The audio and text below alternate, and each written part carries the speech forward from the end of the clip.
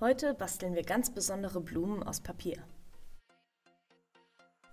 Was du brauchst, ist Papier in deinen Lieblingsfarben,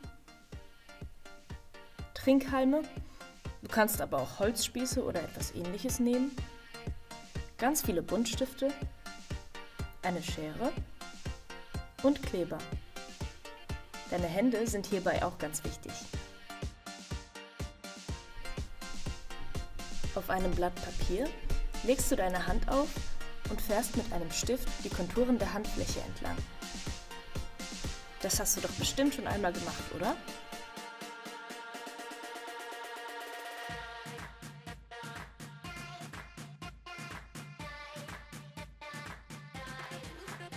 Wenn du fertig bist, kannst du dir deine Buntstifte schnappen und die Hand auf dem Papier mit allem Schönen bemalen, das dir in den Sinn kommt.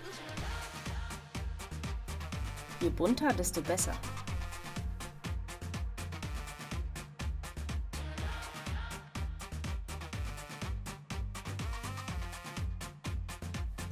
Wenn du fertig bist, schneidest du deine bemalte Hand vorsichtig aus.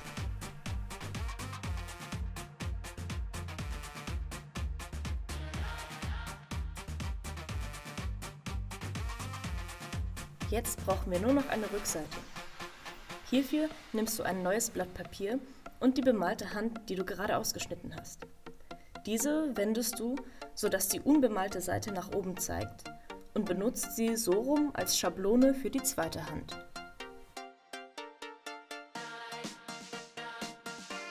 So stellst du sicher, dass die beiden Seiten später gut aufeinander passen. Die zweite Hand malst du ebenso bunt an und schneidest sie vorsichtig aus. Jetzt greifst du dir einen Trinkhalm und den Kleber.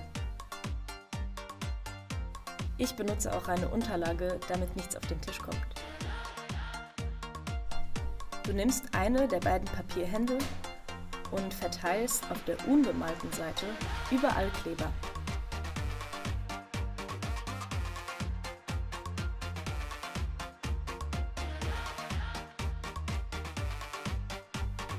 Dann nimmst du den Trinkhalm und drückst ein Ende so an die Unterseite der Hand, dass er wie ein Blumenstiel unten heraussteht. Die zweite Hand legst du möglichst genau auf die erste und drückst die beiden Flächen gut zusammen. Achte darauf, dass wirklich jeweils die bemalte Seite nach außen zeigt. Dann lässt du den Kleber kurz trocknen. Blumen haben nicht nur Blüten, sondern oft auch Blätter an ihrem Stiel. Das gleiche gilt natürlich auch für deine Blume.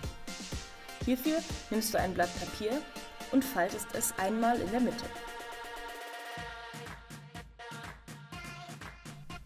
Dann malst du ein Blatt direkt an die gefaltete Kante.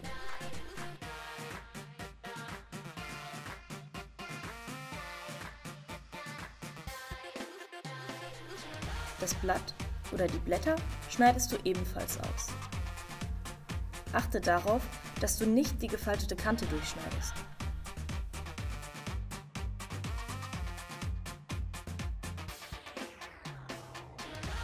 Jetzt kannst du die ausgeschnittenen Blätter auffalten. Auf der gesamten Innenseite verteilst du wieder Kleber.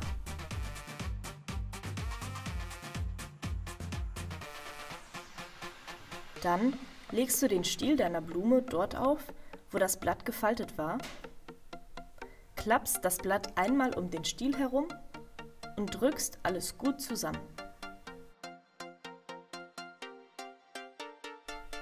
Und schon ist deine kunterbunte Blumenhand fertig. Stell deine Blumenhände doch in einer Vase auf, so können sie jedem zuwinken, der den Raum betritt.